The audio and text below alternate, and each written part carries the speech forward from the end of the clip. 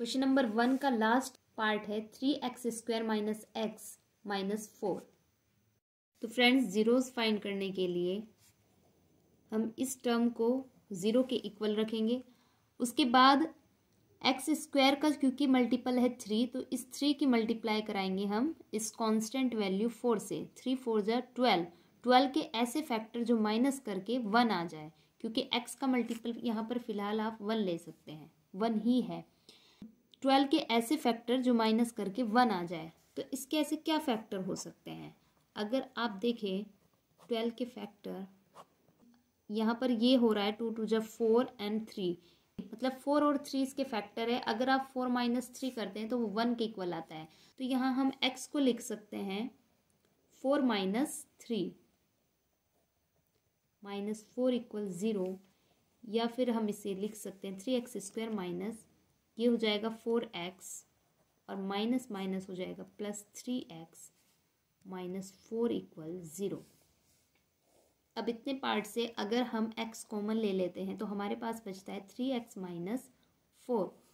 और यहाँ से हम वन कॉमन लेंगे तो भी हमारे पास बचेगा three x minus four equal zero. अब इस पूरी टर्म में से हम थ्री एक्स माइनस फोर को कॉमन ले लेते हैं। तो हमारे पास बचता है x और प्लस वन फ्रेंड्स दोनों फैक्टर को अलग अलग ज़ीरो के इक्वल रखेंगे। अब यहाँ से क्या होगा? थ्री एक्स इक्वल आएगा फोर के और एक्स हो जाएगा फोर बाई थ्री के इक्वल और इधर एक्स इक्वल हो जाएगा माइनस वन तो अल्फ़ा की वैल्यू हमारे पास आई है फोर बाई थ्री और बीटा की वैल्यू है माइनस की वन फ्रेंड्स इस टर्म से ए की वैल्यू होगी थ्री बी की वैल्यू होगी माइनस वन और सी की वैल्यू होगी माइनस फोर तो हम वैल्यू पुट करेंगे अल्फ़ा की वैल्यू है four by three plus beta की वैल्यू है माइनस वन तो ये हो जाएगा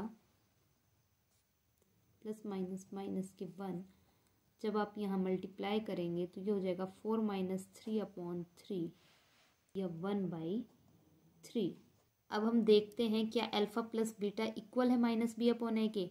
तो यहाँ पर माइनस बी की वैल्यू है माइनस वन और ए की वैल्यू है थ्री अब हम ब्रैकेट ओपन करेंगे तो माइनस माइनस हो जाएगा प्लस तो ये हो जाएगा वन बाई थ्री तो इसका मतलब एल्फ़ा प्लस बीटा इक्वल है बाई थ्री के.